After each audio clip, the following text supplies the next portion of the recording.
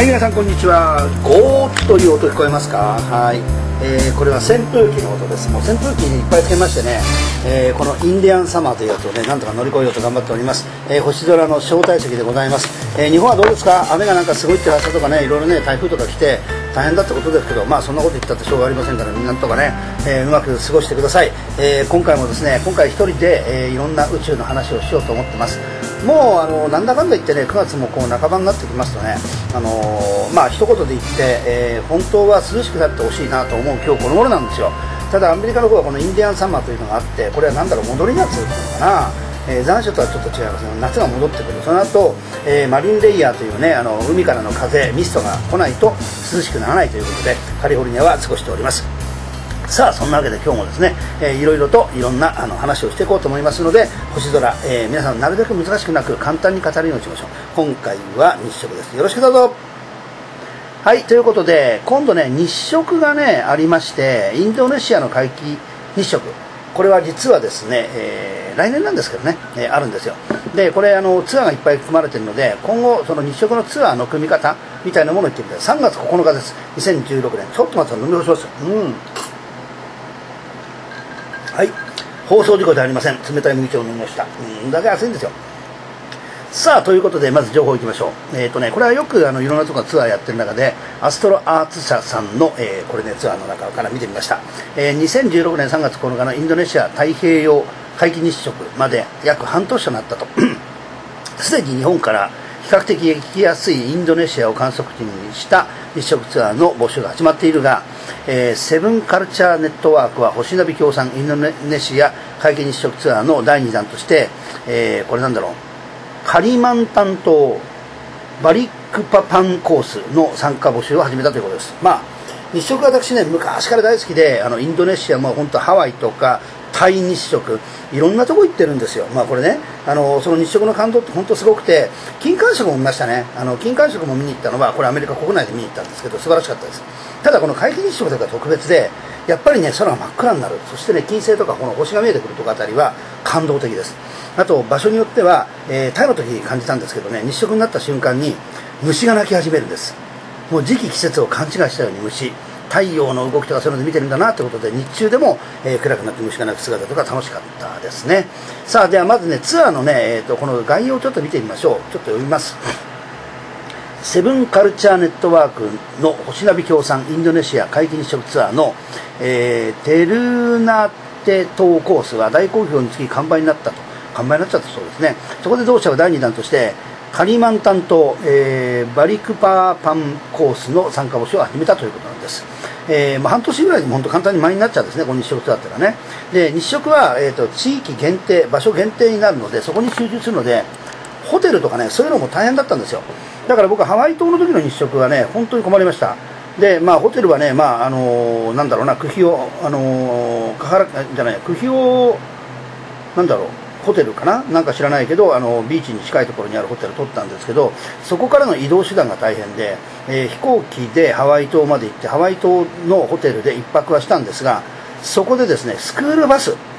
スクールバスを取ってそこから移動したんですよ。でスクールバスといってもね本当のスクールバスなんですよ。それぐらい交通機関がなくてでここはもう天候がいろいろ危なかったんでねどういうふうにしたかというとまあ分かりやすく言えばだな。あのまああの南南の方と西の方に行くか東の方に行くかで全然変わっちゃったんでいろいろありまして、えっと、マウナケ屋さんだっけな？の方に上がったんです。で我々だけの観測隊がようやく太陽が見れて日食を体験できました。他は失敗っていうね非常に何だろうポセイドンアドベンチャーでこっち行ったら正解みたいなことをやってきたんです。でその後インドネシアに行きましてインドネシアでねこれタイ日食ですね。タイでの日食の時は、えーと、バンコクからナコンラチャ島というところに入ってナコンラチャ島から今度は車で移動しました。タクシーです。もうこれも大変でした。タイ語分かんなかったからねその時ね。まあそんなんで見てきましたけど場所取りとホテル取りがすごく大変です。さあそれで今回のインドネシアも、えこれ狭い島の、えー、本当に細い領域なんで大変だと思いますね。えーとこれはねえー、っとカリマンタン島というあのインドネシアの島がありましてバリクパパパンコース、え、の観測地はカリマンタン島のバリクパパン市から 直線で約南西に50キロ回帰隊の中心寄りの、えー、バベルという町なんです、はい、ここでの回帰継続時間は約2分7秒。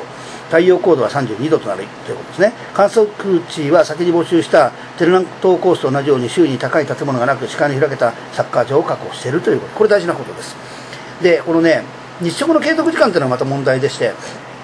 私が見てるやつは非常に長いやつばっかり5分以上のやつを見てたんですけどこの2分7秒だと、まあ、実際のこと言うと短いですね。この間に写真をどれぐらい撮れるか、まあ、最初だと最近だとまあ変な話だけどビデオカメラとかいろいろあるので撮りようがあると思うんですけどもこの2分7秒のその短い期間の間にどの程度の撮れるかというところがまあポイントですね。さあ、えー、今回の日食はどんな成果が出るでしょうか。天候はねまあどうなんですか。3月だと晴れそうな気がしますね。ツアーには日食観測とオラウンタン保護区の見学やカリマンタン島固有のテングザルを見ることができるマングローブクルーズの観光付き、うん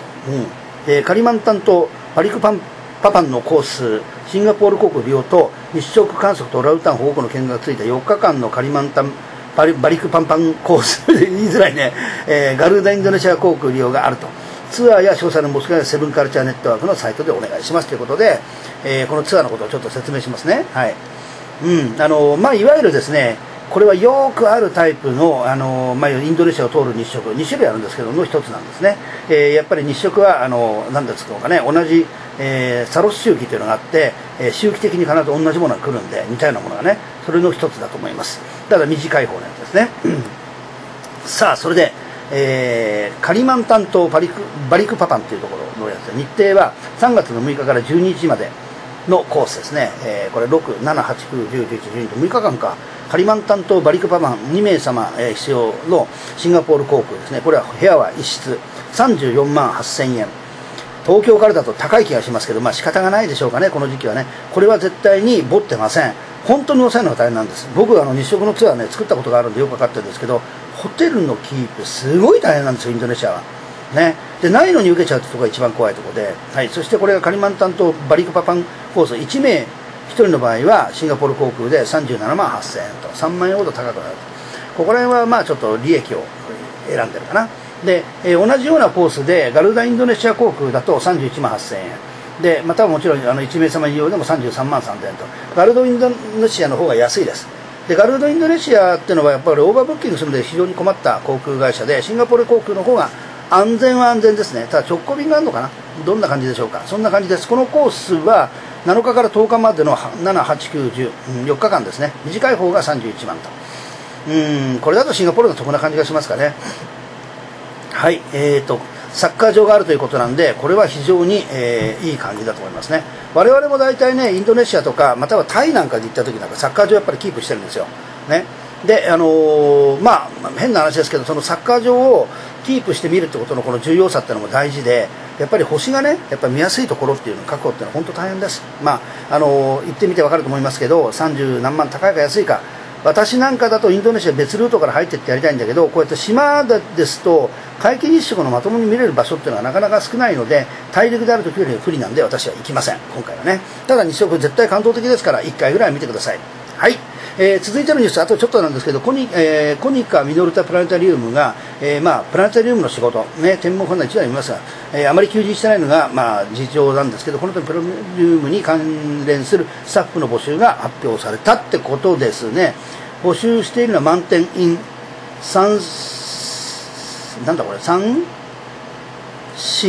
ネサンシネシティっていうのかな？天空インスカイツリータウンなんだってですの運営やプラネタリウム機器の開発番組制作を行っているコニカプラネタリウムの株式会社で各種のスタッフを募集しているってことですねはいまあ、プラネタリウムってもね、これもなかなかあの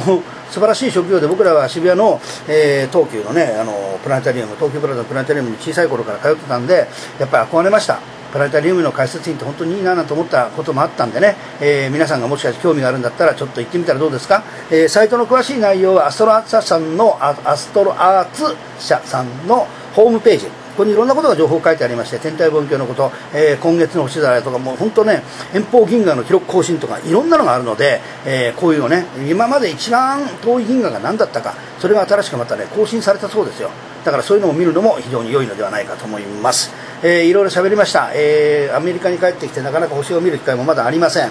南西夜中に外外に出るよりも夜中に酒を飲んでる人が 多いのが神高さんでございましてね。やっぱり星はどうだろうな。やっぱ見ていきたいなって気がしますね。アメリカでも日本でも皆さんと一緒に見る機会があることを楽しみにしたいと思います。またどっかで企画を作ります。さようなら。それでは来週。この番組はあなたの街のエンターテインメントウィザードインがお送りしました。